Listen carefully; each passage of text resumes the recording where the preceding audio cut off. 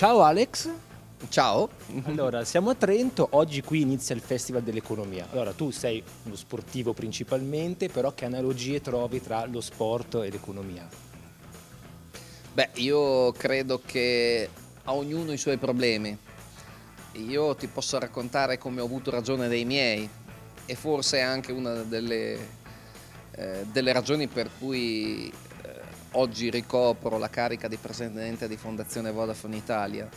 Eh, noi siamo stati invitati qui e abbiamo ritenuto un onore essere presenti, ma anche, eh, come posso dire, molto eh, pertinente alle cose che facciamo, perché il Festival dell'Economia fondamentalmente è ispirato da, da, un, da un principio o da un concetto, forse anche da un'esigenza, la possiamo definire così, che è quella che è giunto il momento che questo Paese prenda atto del fatto che eh, o riusciamo davvero a mettere nei, diciamo, nei, nei, nei, posti chiave del paese da un punto di vista manageriale le persone giuste, le persone che davvero meritano quella posizione o il paese perde. Come tu hai ben detto, eh, ricopri il ruolo di presidente di Fondazione Vodafone Italia da ottobre, quindi da scorso, ovviamente da quasi un anno. Che cosa ci dici un po' di questa esperienza?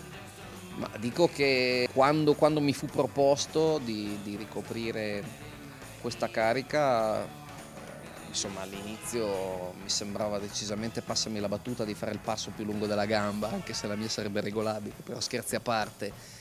E il presidente uscente Antonio Bernardi aveva fatto delle cose meravigliose, ma le aveva fatte, poi me ne sono reso conto lungo la strada, perché, perché dietro di lui c'è un'organizzazione fatta di persone bravissime, estremamente capaci, dotate di grande capacità ma anche di grande professionalità che nel quotidiano le cose le fanno. Insomma Fondazione Vodafone Italia è una macchina eh, molto complessa ma anche molto efficace.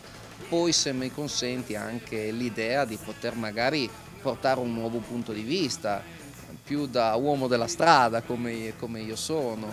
Eh, e anche il fatto che evidentemente io sono una persona che nella vita ha raccolto sicuramente molte più pacche sulle spalle di quelle che realmente meritava, ma insomma sono una persona certamente molto esposta, sono una persona che è spesso anche vista come, a torto ragione, attenzione, ma come uno che ha saputo nel momento giusto mettersi in gioco ed aver ragione di problemi eccezionali e quindi, e quindi tutto sommato io posso rendere eh, l'operato, il lavoro eh, di Fondazione Vodafone Italia ancora più visibile e questo in ultima analisi consente anche di coinvolgere maggiormente i clienti di Vodafone, eh, gli impiegati, le persone che lavorano all'interno del gruppo, renderle ancora più partecipi e magari lungo il cammino riuscire a aumentare ancora di più la cilindrata del motore. Senti, manca poco, come dicevamo, il tuo intervento di questa sera qui al Festival dell'Economia.